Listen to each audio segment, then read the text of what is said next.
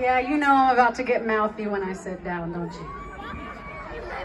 Um, are you guys having a good time tonight? Yeah!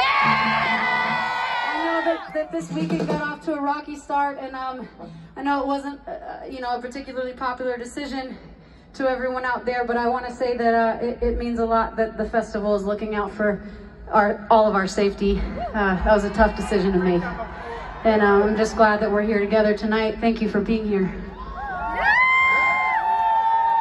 Um, tonight we're celebrating emo, right? This is the emo fest. This is the place to be. This genre is made up of a lot of different genres. And uh, I'll, I'll, spare you the history lesson. no, I won't. Um, why would I do that? Um, this started in the mid 80s as something that had vision. And it was started by some dudes that thought that punk rock should make more space for alternative people inside of alternative music.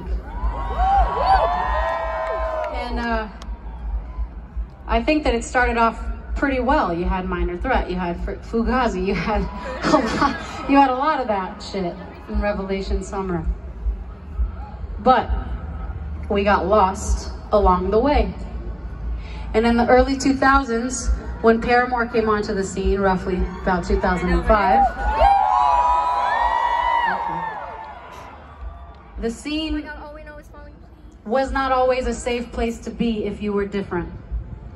If you were a young woman, if you were a person of color, if you were queer,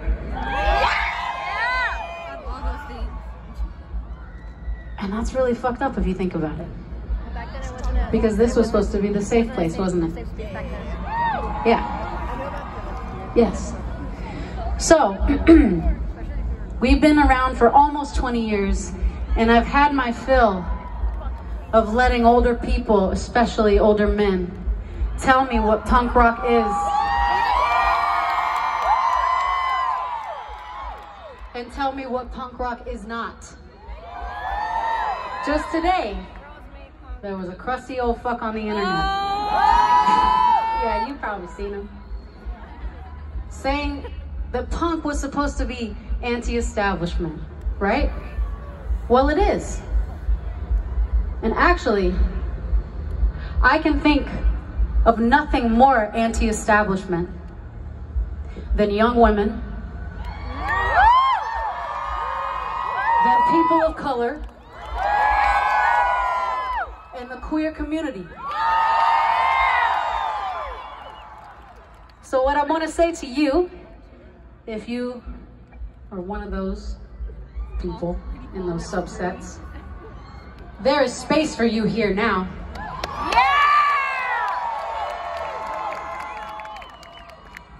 Did you hear me? There's space for you now. And love you and we love being a part of this scene. And we're going to keep doing whatever we can do alongside our friends and our peers in this scene to make it feel safe for every single one of you out there.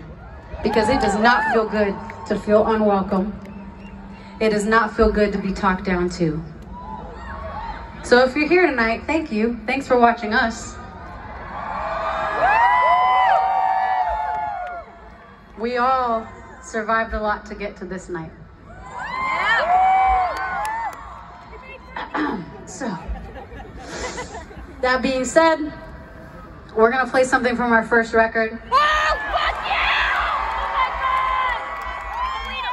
Oh and so all you old crusty motherfuckers, make room!